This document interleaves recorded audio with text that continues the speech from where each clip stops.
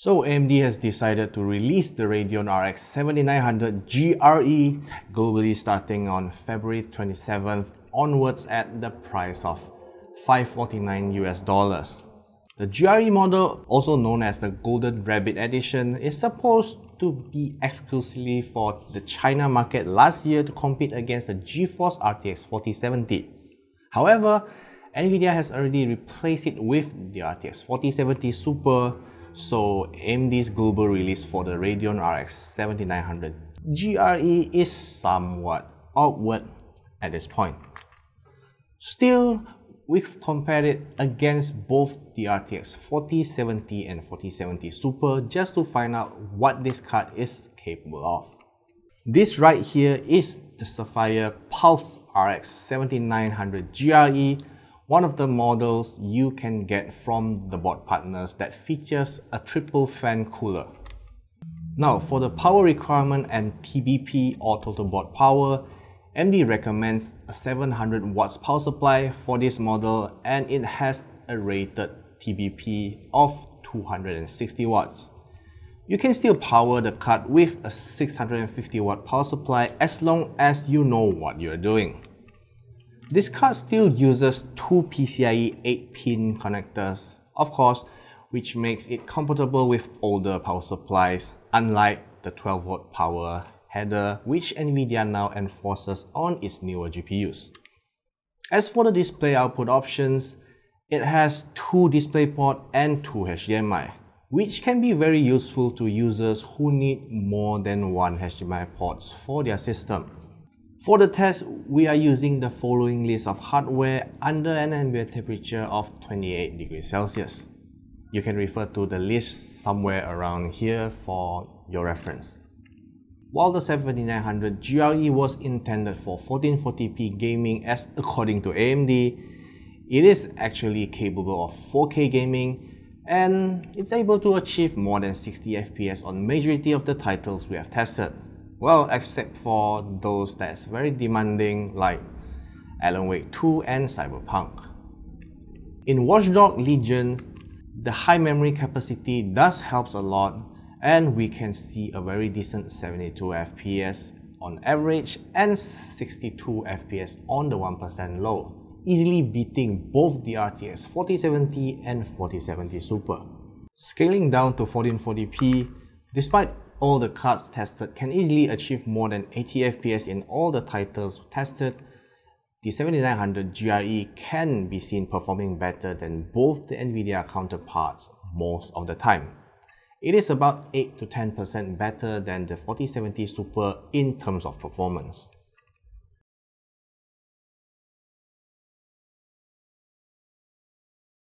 Similar patterns can be seen in 1080p as well, but performance difference between the 7900 GRE and 4070 Super is slightly higher this time, averaging at 13 to 15% in the titles tested.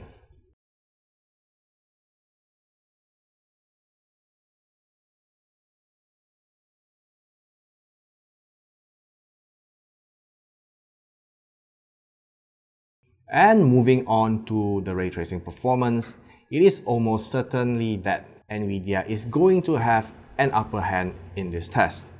What we have done here is just to show how taxing some titles can be even though they are all equipped with the ray tracing features alongside FSR. For titles with FSR 3, we'll leave that out for now as we only wanted to see the raw ray tracing performance. At 4K resolution, we struggle with Cyberpunk in area with denser population and during fights. Meanwhile, Alan Wake 2 is pretty much unplayable with ray tracing set to the highest. Though the rest of the titles tested are still somewhat playable, much to our surprise.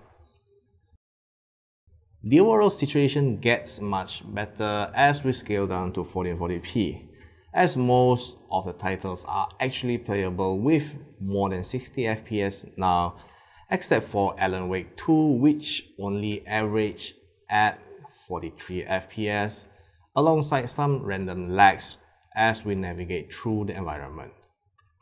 All the titles are very playable at 1080p. but the overall visual experience will not be as good as what you get on the higher resolution. So is that it from AMD? Well, not quite.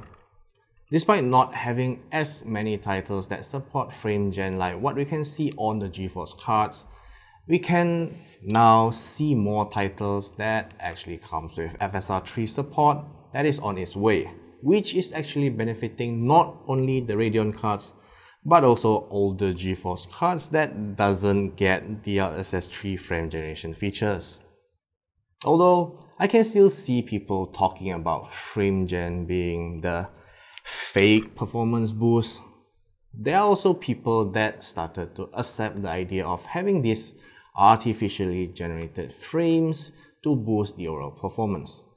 It is never a feature that is perfect to begin with, but both sides, be it Nvidia or AMD, are working on improving the feature and hopefully reducing the occurrence of those artifacts that many of us saw in some of these artificially generated frames. If the game that you're playing actually has this feature and you can enable it, just give it a try first, judge later. Now, here comes the part that might concern some users, the power draw and thermals. Unsurprisingly, the higher performance on the RX 7900 GRE has a higher recorded power draw than both the 4070 and 4070 Super, which is at 200 watts and 220 watts respectively.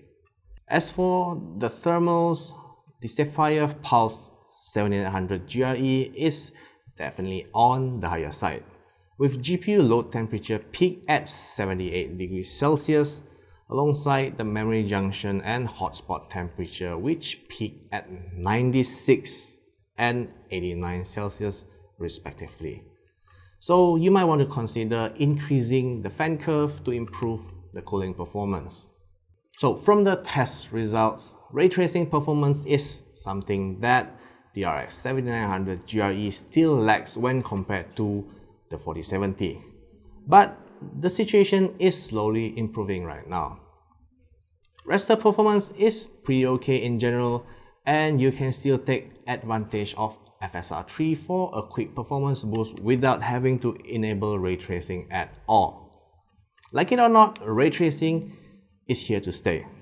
But at least things are looking better for AMD with FSR 3, notably the AFMF, also known as AMD Fluid Motion frames that puts Radeon card in a much better position when competing against GeForce cards. Though that only applies to titles that actually have the feature supported as not every game has this feature, especially older titles that only has DLSS. So is the RX 7900 GRE worth getting? If you're looking mainly at best raster performance for the money you're paying for, which I think a lot of people still do, and of course it's okay with AFMF, the RX 7900 GRE is something you can look into. And that's all for the video this time. Do give us a thumbs up if you find this video useful. Personally, I'll still go for the 4070 Super because of personal preference. But do let us know your thoughts on the 7900 GRE in the comment section down below and I'll see you again next time.